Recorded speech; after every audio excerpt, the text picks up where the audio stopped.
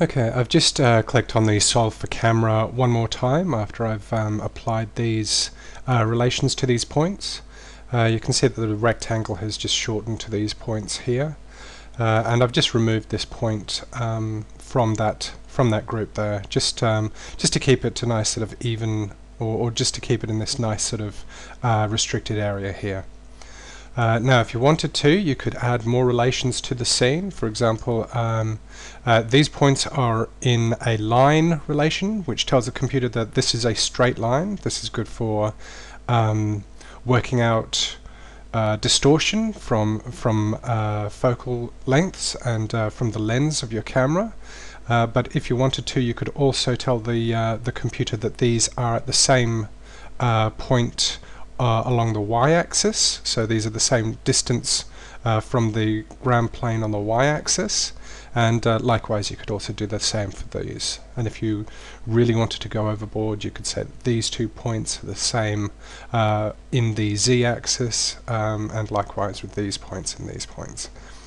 Uh, but it, the more uh, re relations that you add like that um, uh, sometimes uh, the more likely it is to conflict uh, with the regular points that you have uh, mapped in your scene. And it can cause a few problems. So just uh, just remember to to play through once you add these relations just to make sure. Um, and again if you do happen to have a tape measure whilst shooting you can enter these these points in um, exactly. For example if we go to this uh, relation plane here um, where everything's on at the same value on x um, here we have status unknown. Um, if we wanted to we could go to initialized which will uh, take the uh, the values that it has currently and uh, and uh, simply sort of uh, work with those values. Or we can say fixed and uh, I've just averaged the uh, the actual points um, distance in the x-axis and came up with a value of uh, 240.80 or 0.8 I should say. And uh, so uh, if you happen to measure this uh, this scene whilst you were shooting you would be able to um, to enter these points with a certain degree of confidence uh, but for now I'm just going to leave it at unknown just because um, I'm happy with the way that this uh, the scene has been mapped out. Now um, with uh, without the coordinates oh, uh, with the chords unselected or deselected you can see that around track 4 we've got this little patch here. Well track 4 is the origin. That little patch is actually the uh, the grid that we have to work with uh, so if you wanted to um, perhaps make that a little bit bigger uh, we could come down to here and I'll just take the grid step and I'll set that to 10 and you can see that that makes that grid uh, 10 times as large as it was.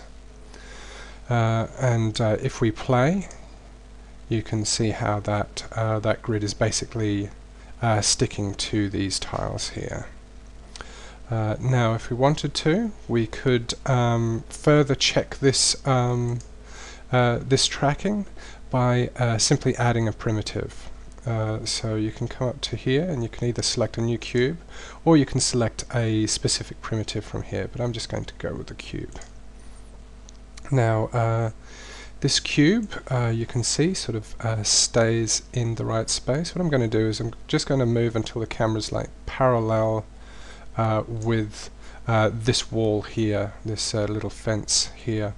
I'm just going to move this so that the cube is just sort of nicely tucked in there uh, and that way I can see um, see the corner here um, how that's interacting with the uh, with the background environment and uh, also sort of see how that cube is going to look as we move uh, back away from this scene and go further into it. And you can see that the back edge of this cube is fairly close to flush with the back corner of this here. Uh, so with that cube added, uh, I'm just going to uh, hit play. And we can just see that that cube is sort of sticking in that scene, and it does look like it uh, it could be part of this um, of this scene. And if we go right the way back we can see that the the movement of that cube is is is pretty much spot on with this um, uh, with the background that it's uh, that it's attached to. Uh, so with that done, um, all that we need to do now, and I'm just going to save. All that we need to do now is uh, export this out so Maya can read it. So I'm just going to hit the export button there, and uh, I've got the auto uh, tracking that I saved before. I'm just going to um, save this one as manual. Now, um, the uh, things that I can select, I can export the camera, the 3D points, and the distortion grid.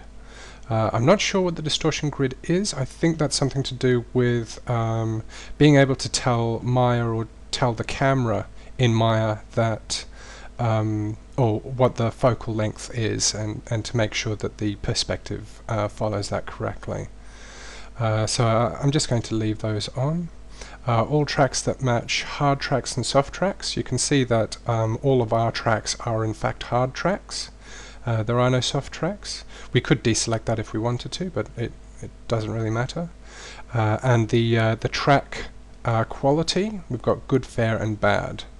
Now, um, if you're using um, automatic, it's probably a good idea to switch off bad and just go with good and fair.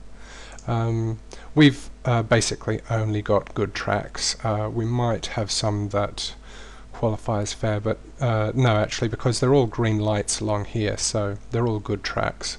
So uh, it doesn't really matter what we what we check there. Now, animate.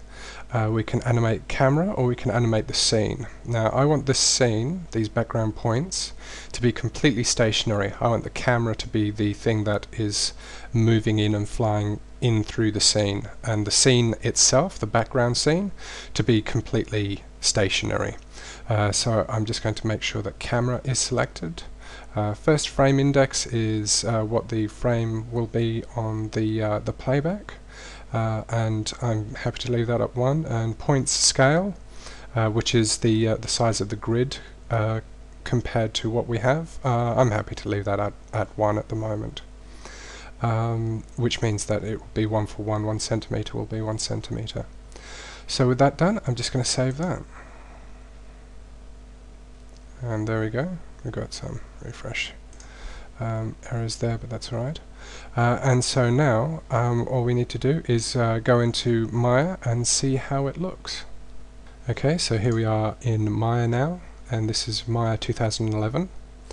Uh, now, I'm one of those people that um, thought Maya 8.5 was pretty cool, and uh, thinks that everything after that has been um, designed uh, with little changes uh, which are just to frustrate people like me, but uh, it does have a lot more um, a lot more gadgets and a lot more fun toys in it. Uh, so uh, 2011 is the standard that we have to work with now. Uh, so the first thing I'm going to do is going to go to Files and I'll open up the automatic tracking that we did before. Uh, you'll notice that we get a warning here that says this file is from an older version of Maya. Uh, do not worry about this warning. Uh, when MatchMover saved out the file or exported the file, it exported it as um, a fairly old file version.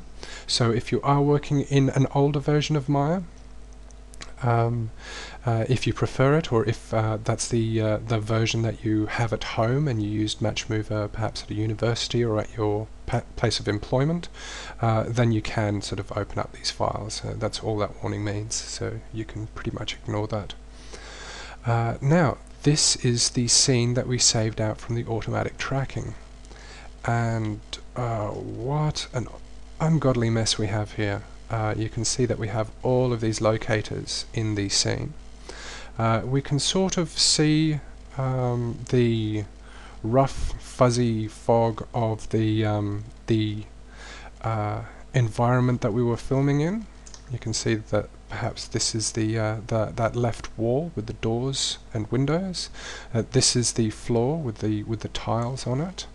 Um, but again, we uh, we also have these these things behind the camera which um, which don't seem to make any sense that uh, that the computer would believe that um, things which are on the camera would actually be referring to things behind the camera. But I guess that's just where the math told uh, match mover those points uh, have to exist in.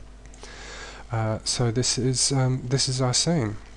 Uh, now you'll notice that uh, there's uh, the camera that we that we created as part of the um, as part of this scene, and it's RZ or RZ camera one and that's just the name that it gives to um, uh, the first camera that it creates in MatchMover.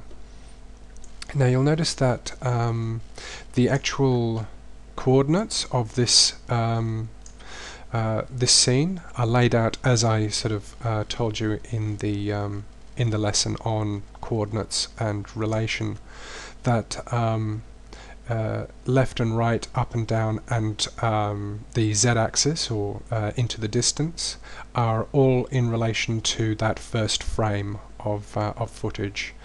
So you'll see that the camera at frame 1 is pointing straight down the z-axis, which means that our scene is actually um, uh, uh, scooping up and off to the, the right um, uh, here, uh, or if you want to look at it another way, um, our camera is uh, pointing uh, down and to the left in our scene. Uh, or our coordinates are also pointing down and to the left. Uh, so where is our backing plate? Where is the where is the image that we that we have to work on with the reference? Well, um, I've noticed that when we do this automatic tracking, we are usually left with a scene that doesn't have um, a visible backing plate. And if I uh, tap 5, you notice that it isn't a uh, it isn't an issue with um, the uh, the draw mode of the uh, of the viewport. Um, I have noticed that if I press the left square bracket to go back um, uh, to do a viewport undo, that the um, uh, the background or the backing plate does appear for that uh, that movement there, which means that it is trying to work it out. Uh, I think there's just so much information with these locators um, that it uh, just hides that to conserve that um, uh, that memory. So uh, if we want to look through our camera, we can just go down to perspective, and instead of the per the persp or the perspective camera, we can come down to RZ camera one and we can see our backing plate now. And if we uh, click play, you can see that we are walking through this scene. And these locators are for the most part sort of um, following the movement that we have on screen. But um, you will notice that there are all of these locators which are in the middle here which don't really correspond to any points that, that it could possibly be. But uh, with all of these um, uh, if we cut down on some of these points, I'm, I'm, sure that perhaps we would be following this scene to a certain extent. Uh, so we'll um, uh, uh, there there is something to be said for automatic tracking. It's just that it's not my preference. So let's have a look at manual tracking and how that looks. I'll just come down to this and open up manual. No need to save. And uh, because I had RZ camera or RZ camera selected in the last um, uh, last scene open, it's still selected here.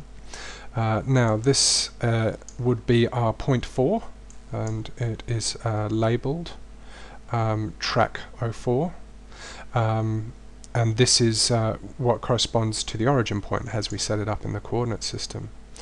Now if we zoom back you can see that it's it's a fairly spaced out uh, scene that's because we set up uh, one um, one sort of unit to be uh, one centimeter. So that's why this is this is like this. But if we sort of move around uh, we can see that our scene is visible um, right from the start. And if we go to our camera and hit play and uh, doesn't look like we can actually uh, select those uh, we can actually see those points but if we um, go here we can see that these points are lined up perfectly well. So in the next lesson uh, I'm going to be going through this and uh, we'll uh, see if we can set up some sort of scene.